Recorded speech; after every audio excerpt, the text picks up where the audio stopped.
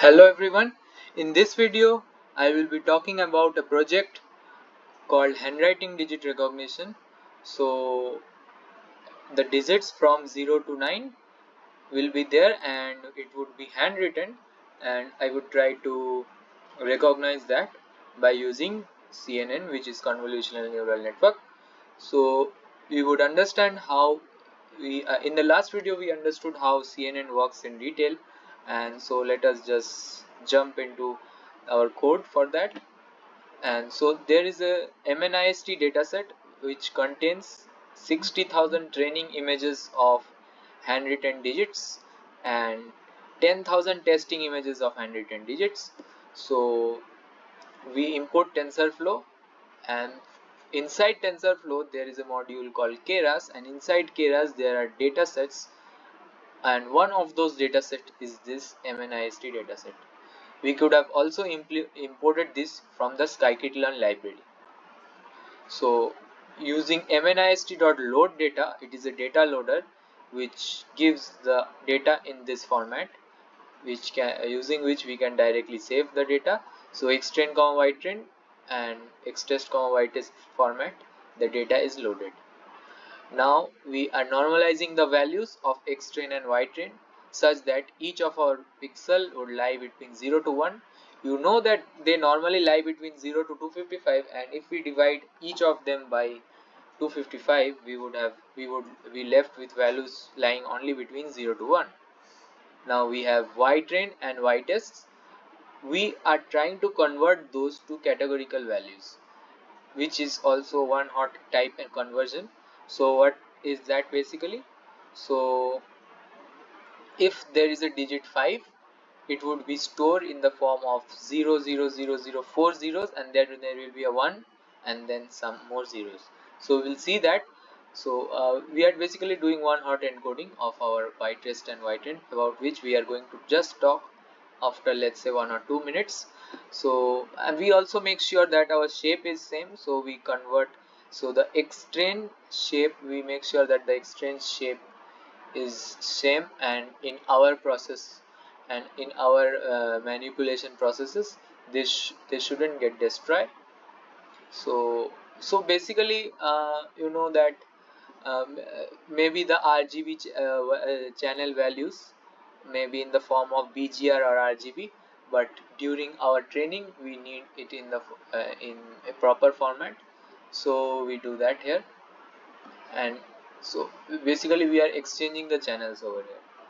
RGB we are converting BGR to RGB or something like that. Then we use uh, the len well uh, thing to just len function to just find how many train and test values are there. As I told you there will be 60,000 training images and 10,000 testing images.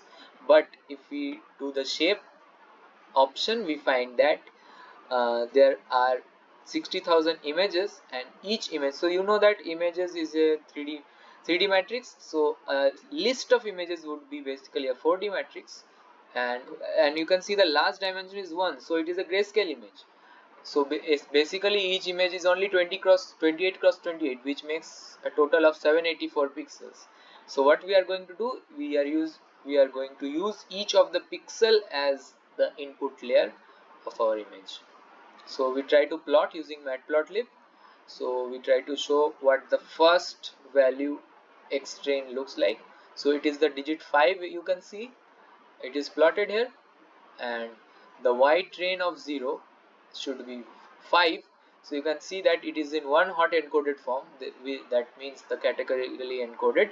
So this is 0 1 2 3 4 and 5 the fifth value is 1 so it means that the output is 5 if the sixth value would have been 1 so no the sixth value is 5 1 so it means the output is 5 so it starts from 0 all the way till 9 right so if the seventh value would have been 1 so you would have found that the our digit is 6 so in this way we do one hot encoding and and in the in our final output layer of the neural network you will find only 10 neurons which would give outputs of either 0 or 1 and the final uh, the whatever the output they will give only one of them will be 1 and we would basically find find out uh, which exactly is our predicted number.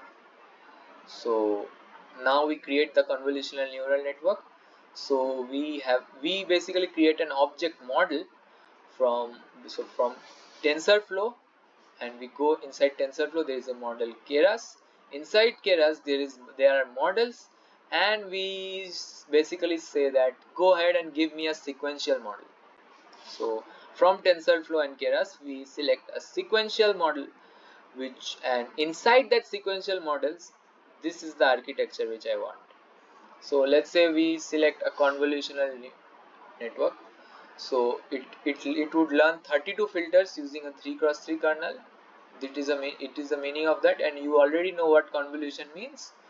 And we you will use the activation function of ReLU and the input shape of the image we have to specify here which is 28 cross 28 cross 1 and the max pooling layer which would use a 2 cross 2 pool size we would also use a max pooling layer. We would also flatten our units after that.